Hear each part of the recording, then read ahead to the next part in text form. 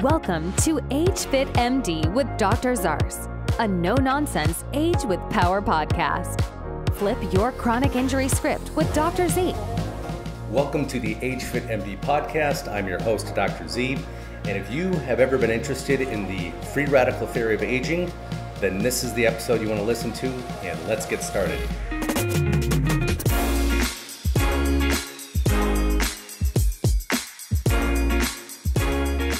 So many people ask me, what is the cause of aging? And there's a lot of theories out there about specifically what causes it. There's a lot of reasons, but I think one of the most accepted ones is the free radical theory of aging.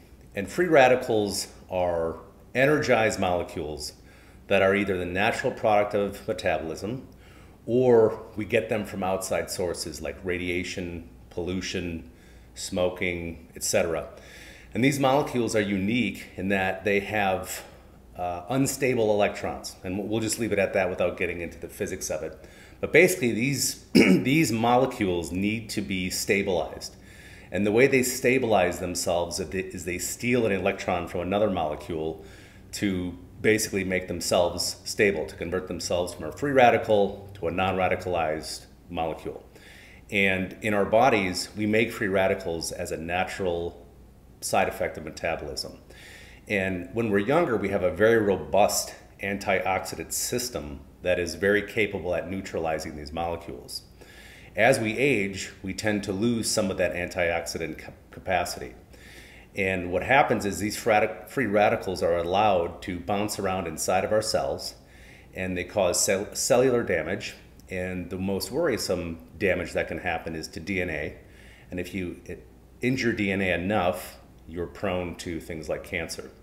So it's in our best interest to try to control free radicals.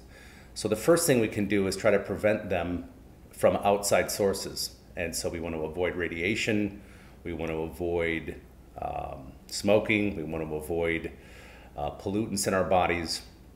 But what we can't avoid is regular metabolism. And this is a natural phenomenon that we have to deal with. Well, a great thing about uh, nutrition is that we can supplement ourselves with antioxidants like vitamin C, uh, resveratrol. Uh, there's natural antioxidants in our foods. There's antioxidants in superfoods. And basically, these outside sources we ingest and they act to neutralize those free radicals. But once those molecules are used for neutralization, they have to be taken again. So this is why I'm really passionate about encouraging people to take supplements and to take antioxidants and to eat as nutritiously as you can because by taking these outside sources of antioxidants, we can help neutralize some of the damage that these free radicals are causing. And it has to be done continuously since we use them. So this is, uh, this is pretty important, and that's why we want to really focus on our nutrition we really want to focus on supplementation.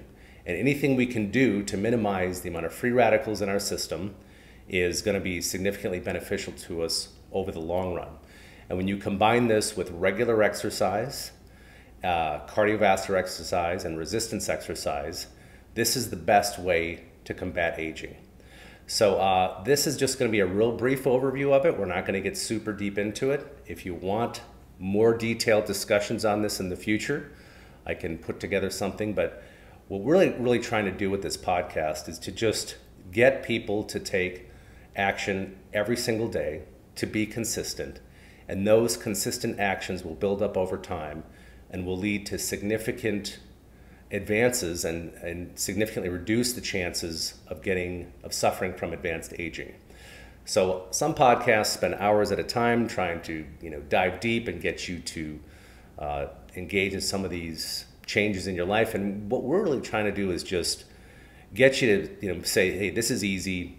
This is a small thing to do, and you can really be successful uh, and consistent by making these small changes. So that's a brief discussion on the free radical theory of aging. That's uh, I hope I highlighted for you the importance of, of antioxidants. And in the future episodes, I'm going to go into specifically which ones I recommend and why and then you'll have a more detailed knowledge on, on why you're doing it and, and how you can strategize your own uh, program. So, hope you enjoyed that conversation. Uh, stay tuned. We got some more good content coming up to help keep you aging fit and healthy in the long run. Have a great day. For more information about AgeFit MD, ImmuneX2, or Dr. Z's training, please visit drzarse.com for a full line of supplements and educational tools to help you age with power.